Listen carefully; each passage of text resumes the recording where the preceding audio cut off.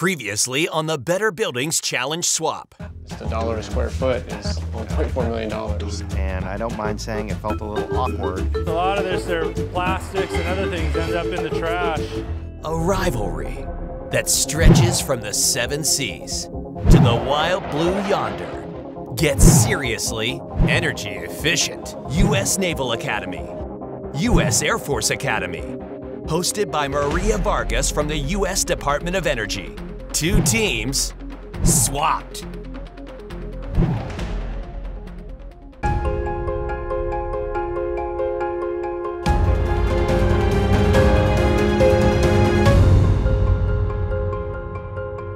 Well, here we are at the end of the swap. I just want to thank all of you for all your help in doing this Better Building Swap. It's been great, and I think it really is fun to watch federal leadership in action.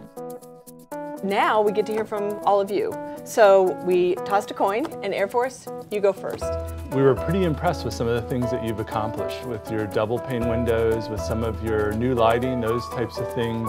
It really was neat to see the contrast between the two campus styles. And as we walked through the classroom in Michelson, um, it had the lights on, some of the small loads still plugged in, so it seemed like uh, those were some areas for improvement.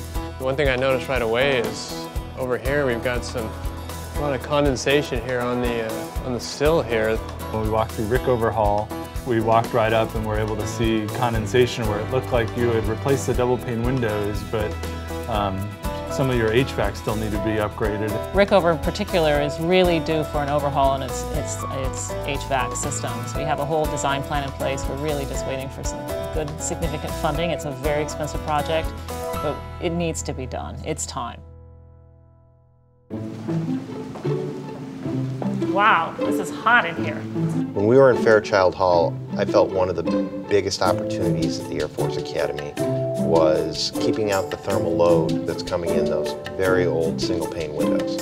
I would say you have an opportunity to do something very different um, and maybe consider some things that haven't been considered before. That's where you almost wonder if, if the answer isn't to build a new wall, like right here, that doesn't even touch that wall. Essentially an internal glass wall that separates the existing e- exterior of the building from the interior. I appreciate you taking a look at it because I, uh, you know, I really value your suggestions. Beautiful space, yeah. I was thoroughly impressed with the renovations and stuff you've done at the, the Wesley Brown Field House. I did find there a couple of things I will mention though. We went in there and there was uh, one, one person in there in the track area and the temperature was sub 70 degrees. I think there may be some opportunities to maybe set back your temperature when it's not used during the time. And, and also your LED lights, I, I loved them. But with the daylighting we were getting in there and the daylight through the window wall system, I just thought, you know, maybe we can step those back, either the amount of illumination coming out of those lights or simply have banks shut off as you get towards the window because you don't need the illumination over there.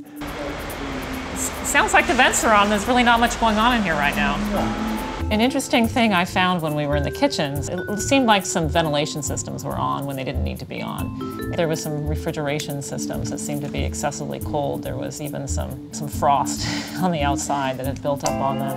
And we found some doors that didn't close properly, things like that. I think just looking at those types of things and training, I think, is, a, is an opportunity for you all. I do think we face uh, very much the same challenges. So first of all, like we saw at tables, we're always going to have waste. That's unavoidable. And the biodigester that we have here at the Naval Academy is a fantastic way to use that waste to produce electricity and then later give compost to local farmers. You've done a great thing with that though. I was very impressed. I'd like to see how that develops and how it scales up as you go further with it and how it ties into the grid. Let me just ask you one more question. I know you're doing some of your research on green roofs. Do you think mm-hmm. that's an opportunity for the Annapolis campus?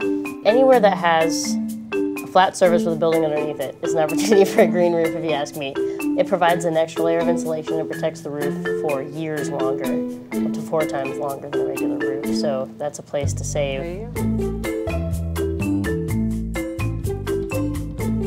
I was really, really excited about the solar technology there. We've kind of talked about solar here and we've been like, no, we can't do it. You know, we can't get it. We have these roofs that aren't right for it. And then I saw that. It was lightweight, it was flexible. What I'd really love is for us to share your results from that so we can predict with the same kind of technology what we'd get here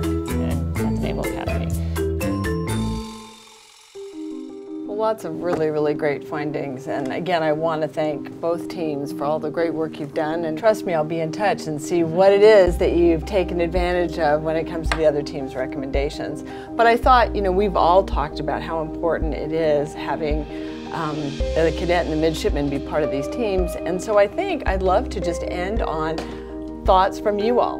I'm, I'm hoping to be a civil engineer, you're a mechanical engineer major, and someday we might have some say in how buildings are going to incorporate new technologies and I'm just excited to see where that goes. I was honestly shocked by when you start looking for waste, how apparent, how easy it is to find it, how much energy we actually do use. And we need to get used to thinking about what we're using, thinking about the amount of waste that we're using. We really need to start ingraining this culture in, inside of the military, and that will start with us here. As, as we look forward to the future, how can we be more energy conscious?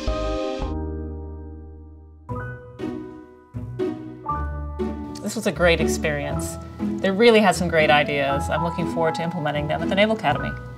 We took a lot away from having the team at the Air Force Academy. Um, in particular, the windows in Fairchild Hall is something we're going to have to take back and focus on. What's great about the work that both the Navy and the Air Force have done is that they're great examples for other institutions, both public and private, other colleges and universities around the country, indeed around the world, about why energy efficiency is so important and the things that we can do every day to make our campuses more energy efficient. This was a really great swap. We're thrilled at the results and can't wait for season three.